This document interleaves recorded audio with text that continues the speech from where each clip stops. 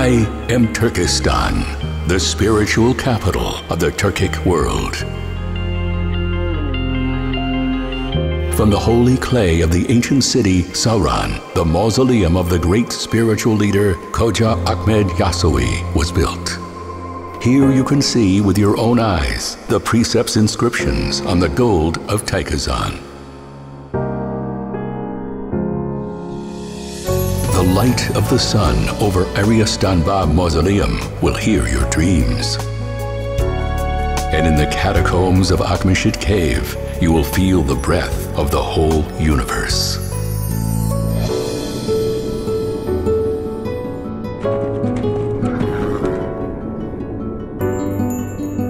Here, over hundreds of years, holy Turkestan was built. The place of our power,